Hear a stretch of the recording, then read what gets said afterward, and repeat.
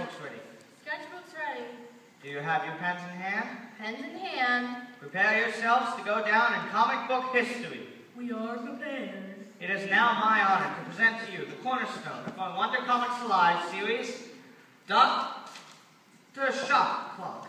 Hey, that's mine. I drew that one. Oh yeah. Oh yeah. I won, and you did it. Yes, you did, and congratulations. This is our new superhero, folks, our living comic prototype.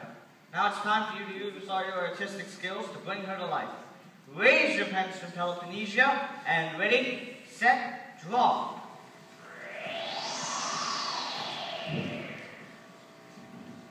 It is now time to present our leader. Please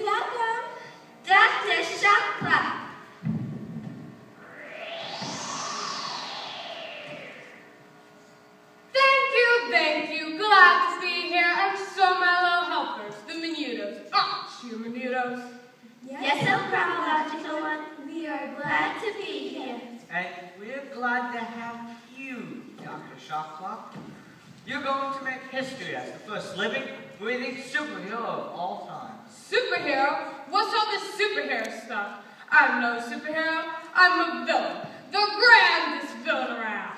But, but you can't be. We drew you to be a superhero. That's our trademark. That's our...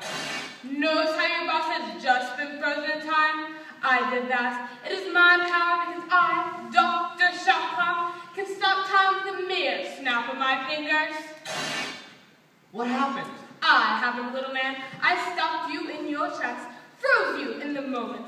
I am the master of time. I can bend it, and all that depends on it, to my will. Not second, not minute, not hour word can pass without my consent. No, it can't be. Oh, yes, it can. And you, your company, this city, the entire world, in fact, are mine for the taking. It's only, you might say, a matter of time. Quick, draw a hero to fight this villain. Sorry, but I can't let you do that. I don't like superheroes. They can be annoying little creatures. I mean, you just take these people and their pens away. Yes, so chronological one. Put them in my time freezer. They can enjoy suspended animation. Ah, yes, my time has finally come. I'm about to become rich, famous, powerful. I'll take what I want. No one can stop me because I can stop them first. I am, after all, Dr. Shopclock. You're the supreme commander of time, the queen of crime. How right you are. You're the ticking time bomb. You're Dr. Shotclock. Taking time lord, I like that. Very appropriate, I must say. Take all the clocks and timepieces. We are going to find a more suitable place for my headquarters. Somewhere in Times Square, I think. Not bad, but I must say I look much better looking in real life.